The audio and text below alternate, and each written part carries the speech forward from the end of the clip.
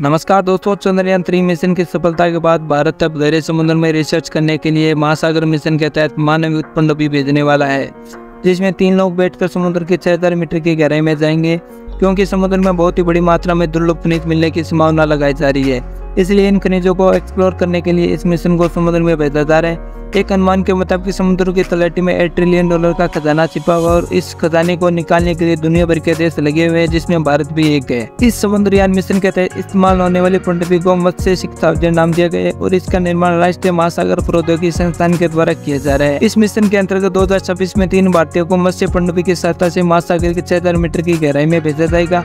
उससे पहले 2024 में चेन्नई तट के पास बंगाल की खाड़ी में इसका पहला परीक्षण किया जाएगा। इसके लिए पृथ्वी को 500 मीटर की गहराई में समुद्र के नीचे भेजा जाएगा और ये परीक्षण दो से तीन महीने तक चलेगा। भारत सरकार इस मिशन के ज़रिए समुद्र तल से मोबाइल, लैपटॉप जैसे इलेक्ट्रॉनिक डिवाइस बनाने के लिए कोबाल्ट, निकल और सल्फाइड जैसी धातुएँ और खनिज निकालने का प्रयास करेगी। ग्लोबल वार्मिंग से लड़ने के लिए दुनिया भर के देश इलेक्ट्रिक वाहनों पर शिफ्ट हो रहे हैं। इसलिए ई वाहनों में इस्तेमाल होने वाली धातु जैसे लिथियम, तांबा, निकल, मैग्नीज बहुत ही कम मात्रा में धरती पर पाई जाती है। इसलिए आने वाले समय में इनकी मांग काफ़ी तेज़ी से बढ़ने वाली है। एक अनुमान के मुताबिक अगले तीन सालों में दुनिया को दोगुना लिथियम और सत्तर प्रतिशत कोबाल्ट की ज़रूरत होगी। अंतर्राष्ट्रीय ऊर्जा एजेंसी का अनुमान है, दो हज़ार तेईस तक करीब पाँच गुना ज़्यादा लिथियम और चार गुना ज़्यादा कोबाल्ट की आवश्यकता पड़ने वाली है।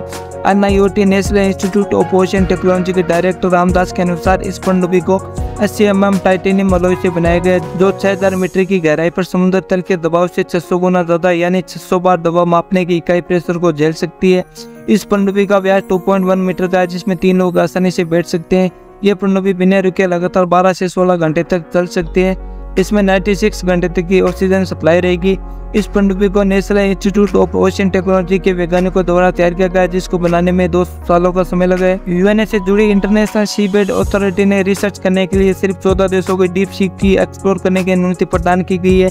इन देशों में चीन, रूस, दक्षिण Korea, Bharat, Britain, France, Poland, Brazil, Japan, Jamaica, Nauru Tonga Kiribati और बेल्जियम शामिल है, जिसमें से कुछ ही देश ऐसे हैं जिन्होंने मानव पनडुब्बी विकसित की है। जैसे अमेरिका, रूस, चीन, जापान, ऑस्ट्रेलिया और फ्रांस। भारत सरकार के आर्ट एंड साइंस मिनिस्ट्री के द्वारा 2024 में डीप ओशन मिशन की मंजूरी दी थी। इसके लिए भारत सरकार के द्वारा पाँच सालों के लिए चार हज़ार सतहत्तर करोड़ रुपए का बजट आवंटित किया गया, जो कई फ़ेज़ में दिया जाएगा। इस मिशन का मुख्य उद्देश्य समुद्र में उपलब्ध संसाधनों का पता लगाकर उनकी माइनिंग करके धरती पर कैसे लाया जा सकते हैं। उसके लिए नए प्रकार के तकनीक विकसित करना है। इसके अलावा समुद्री संसाधनों पर आधारित एक ब्लू इकोनॉमी को भी बढ़ाया दिया जा सकता है, लेकिन बहुत से देश ऐसे भी जो डीप सी माइनिंग पर बैन लगाना चाहते हैं।